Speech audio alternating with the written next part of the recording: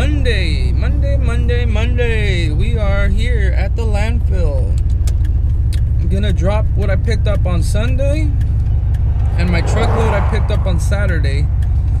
Gotta have my truck empty at all times, bro, just in case. So,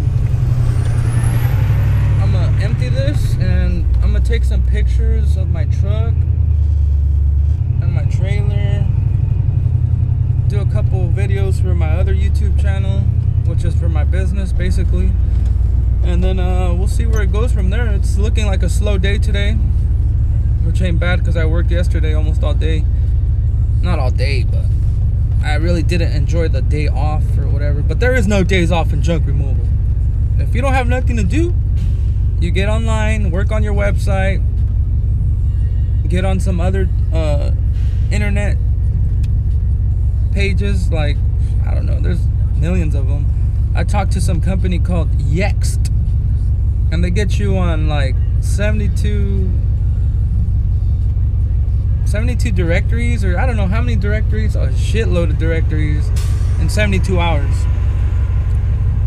So that's pretty cool, but it's like 500 bucks a year. So I'll probably look into that but later on. But as of right now, I'm just doing one directory at a time, but some of them you can't get on unless you go through Yext. Like MapQuest, you can't get on that. You got to pay local.com, you got to pay or you got to go through Yext. But stay tuned, guys. We'll see what happens.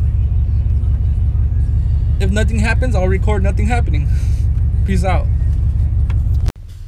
What is up, guys? Uh, I just got off the phone with a customer. I'm gonna go do a couch removal, a couch, a pull-out couch, and he said he had like two cat scratchers or something like that. So I was like, all right. We'll get it done tomorrow morning, 10 o'clock sharp. Peace out. Check it out, guys. I used to drive this truck right here.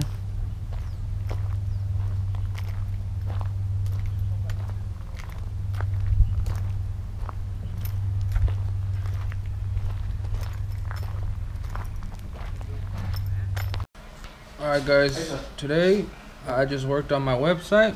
I am in the almighty command center of all command centers. I am in Kingsburg, California, bro. Check it out. Working on my website, bro. I put some video in there. I put my Facebook in there, bro. And then, what are you shy for, bro? I got my Yelp review, my social media links. So yeah, guys, it was a little slow day. I just got one pickup scheduled for tomorrow. We'll see how it goes. Peace out. Stay tuned. Comment, like, subscribe, guys.